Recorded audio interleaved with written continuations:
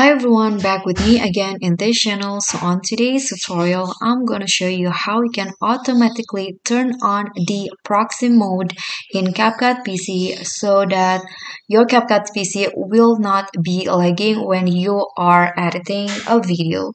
So here, before you opening your project, you need to go to the settings at the top here and then click on settings again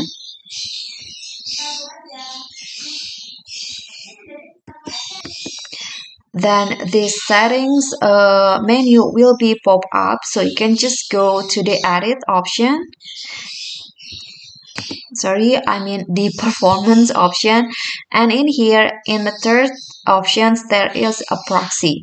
So you need to enable these options to turn on the proxy mode by default or automatically when you start a new project. So just click on this box until it turns to blue then save the setting.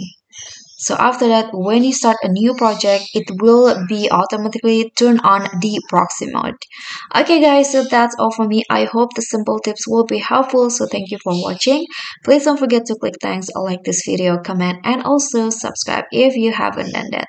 I'll see you all on the next tutorial. Bye